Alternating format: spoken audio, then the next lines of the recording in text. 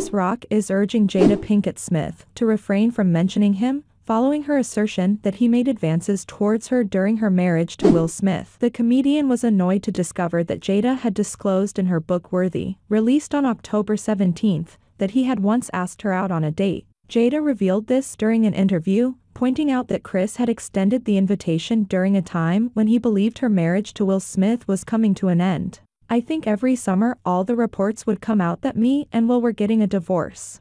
And this particular summer, Chris he thought that we were getting a divorce, she explained. So he called me and basically he was like, I would love to take you out. And I was like, what do you mean? He was like, well aren't you and Will getting a divorce? I was like no, Chris those are just rumors. He was appalled and he profusely apologized and that was that. According to an insider, Rock is feeling exasperated and simply desires Jada Pinkett Smith to refrain from mentioning him. Chris hates that she keeps bringing it up and bringing up the other revelations about Chris asking her on a date and all of that, the insider said. He is a relatively private person and was just getting to a point where people may have started to move on, but now it is back in the limelight, and it's just frustrating that everything is coming back to the forefront. The secret spiller added that, Chris is over it and would actually love for her to keep his name out of her damn mouth.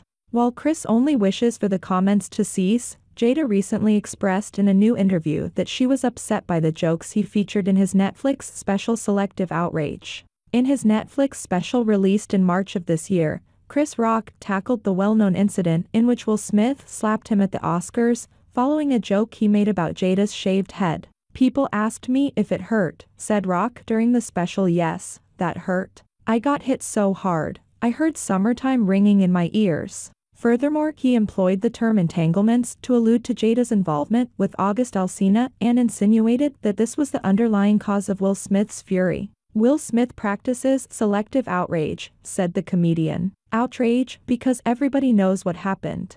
Everybody that really knows, knows that I have nothing to do with that. I didn't have any entanglements. Like share and subscribe and thanks for watching.